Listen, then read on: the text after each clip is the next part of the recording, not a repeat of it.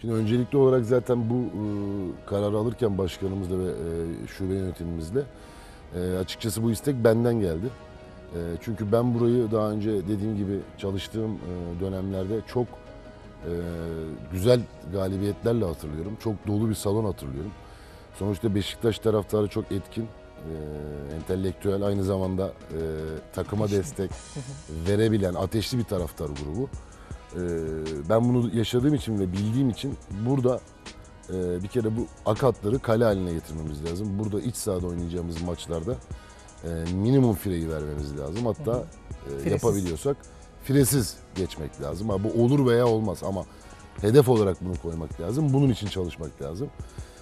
Bu bakımdan da bu salonun bize iyi geleceğini düşünüyorum.